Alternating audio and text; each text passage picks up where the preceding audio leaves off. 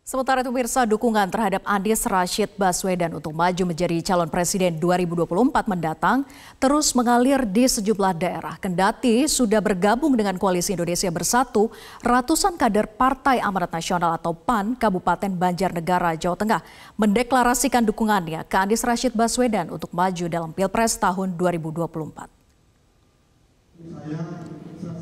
Kader PAN yang menamakan diri Forpan atau Forum Relawan Anies Baswedan mendeklarasikan dan mendukung Anies Rashid Baswedan sebagai calon presiden pada 2024 mendatang.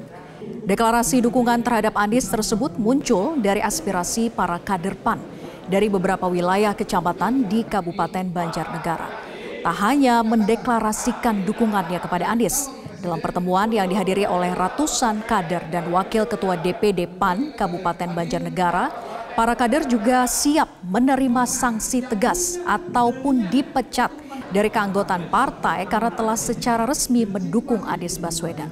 Para kader PAN ini menilai Anies Rashid Baswedan layak didukung menjadi presiden pada 2024, salah satunya yakni keberhasilannya saat memimpin ibu kota Jakarta dan sebagai sosok pemimpin yang sidik, amanah, dan fatonah.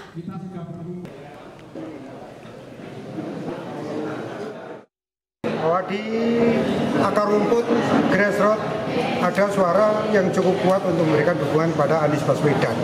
Sedangkan ada sedikit hal yang mungkin nantinya mungkin gitu kan pertentangan sehingga kami mencoba mengakomodir suara-suara itu sehingga kami beranikan diri untuk membuat Forpan, Forum Relawan Anies Baswedan, dan harapan bahwa tujuan rakyat untuk sebuah perubahan dan yang berkemajuan insya Allah akan terwujud melalui